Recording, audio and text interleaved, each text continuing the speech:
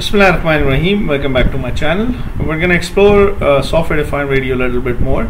For that reason, I'm using Dragon Focal OX uh, OS. Um, uh, Dragon OS is a very beautiful distribution that allows. It already has all the software-defined radio tools pre-compiled, so you don't have to worry about compiling it.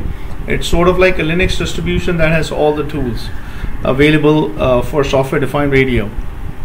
So the tool that we're going to explore today is called Sparrow Wi-Fi in order for me to explore this tool, I have my HackRF which is connected to my laptop. I am running Dragon OS uh, using a live SSD drive. So I'm just going to simply go in and I'm going to go to my system tools. I think I'm going to go to my uh, other and then from here I'm going to select Sparrow Wi-Fi. So Sparrow Wi-Fi allows me, what it allows me to do actually, it allows me to actually visualize or try to look into my Wi-Fi signals and my Bluetooth signals. So in order for me to do that, the first thing I'll do is this. I have my Sparrow Wi-Fi running. I'm just going to simply go to LS. Make sure your HackRF is connected. The next step you need to do, just simply run Sparrow Wi-Fi Pi. This, this, this, this file. That's all you need to run. What it does, it will automatically take HackRF into account and it will display the spectrum. So just simply run it sudo you don't need to write sudo but I'm just writing it anyhow sudo python p-y-t-h-o-n 3 and uh, sparrow tag wi-fi dot pi and let's enter. As soon as you hit enter this is the screen that you will see. This is the local interface. This is the NIC uh, local interface or your NIC alright so let's hit scan and let's try to scan everything. Let's see what type of okay here we go so I have my laptop. I also have my phone which is also running uh, associated with different APs which are available. These are the MAC addresses of all the APs which are available. These are the associated uh, SSIDs uh, so at least I'm seeing how many base stations at least nine different base stations which are located in a diff with different names with different security levels different type of bandwidths and things like that. Uh, so the default bandwidth uh, and with signal strength and frequency and what are the channel allocation for those frequencies. You can also clearly see this at the bottom of this graph as well and then you can go to spectrum and you can just if you want to look at a spectrum in terms of this as you can see so this is this phone which is actually my phone uh, is close to my uh, laptop. That's why you're seeing a, a, better signal strength as compared to the other uh, uh, other SSIDs which are available in the area. As you can clearly see I'm getting a better signal strength as compared to the other ones uh, other uh, APs which are available in the vicinity. The other thing that you can do is also this you can also scan Bluetooth as well. So just simply go here and go to Bluetooth discovery uh, and just just simply hit scan. It will start scanning all the Bluetooth devices which are available in the vicinity as well. Uh, that includes your smartwatches and things like that. And of course there are associated MAC addresses. I'm not just gonna leave them as is.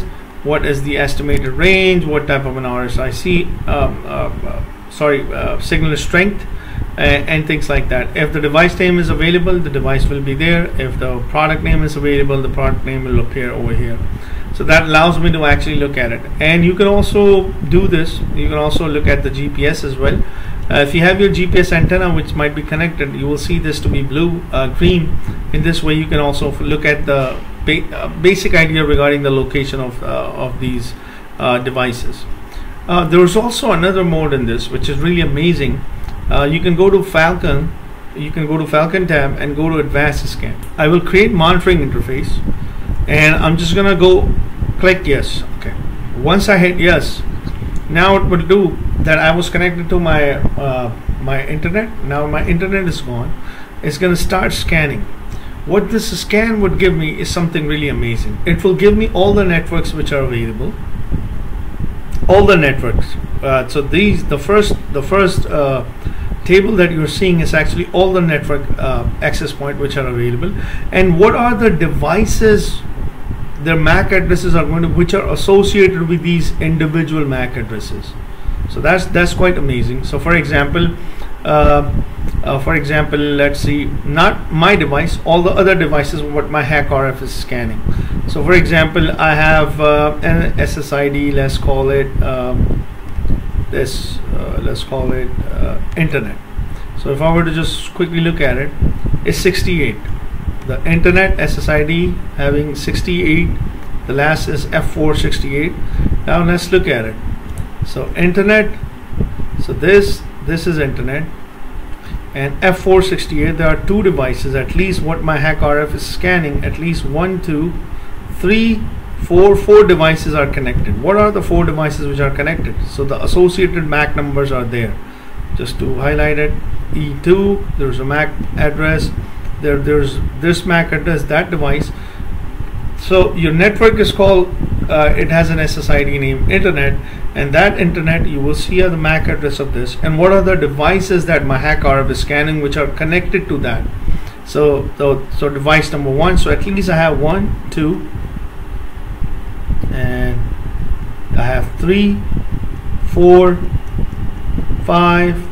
At least I have five different devices and I have MAC I already have a knowledge of their MAC addresses as well.